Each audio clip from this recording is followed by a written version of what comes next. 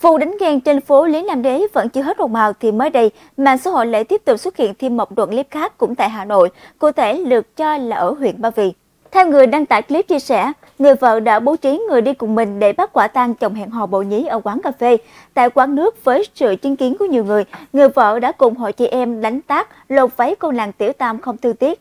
Theo nội dung đoạn clip, người vợ bộ đồ màu đỏ, sau khi phát hiện chồng áo sơ mi kẻ sọc ngồi hẹn hò với cô gái trẻ được cho là nhân tình trong quán cà phê thì đã hết sức tức giận. Do đã có sự chuẩn bị từ trước, một nam thanh niên đã ôm chặt lấy gã chồng để cho người vợ cùng hội chị em mặc sức trút giận dữ lên cô nàng tiểu tam. Tận mắt thấy cảnh nhân tình bị vợ đánh đập không tương tiếc, gã chồng không thể bảo vệ hay che chắn bởi đã bị đồng minh của vợ giữ chặt. Vừa bất lực đứng một chỗ, người đàn ông này vẫn luôn miệng xin tha cho nhân tình. Thôi đừng đánh nữa, bỏ ra, bỏ nó ra. Về phần mình, cô nàng Tiểu Tam không hề phản kháng mà chỉ cúi gằm che mặt. Một số nam thanh niên được cho là nhân viên của quán đã nhiều lần tiếp cận để can ngăn vụ xô xát, nhiều lần đề nghị thì người vợ mới chịu dừng tay.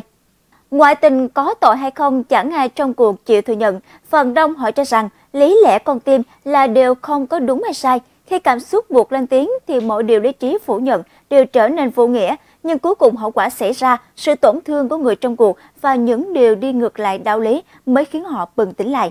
Nhưng tòa án lương tâm lại chính là vị thẩm phán cuối cùng cho tội trạng kia.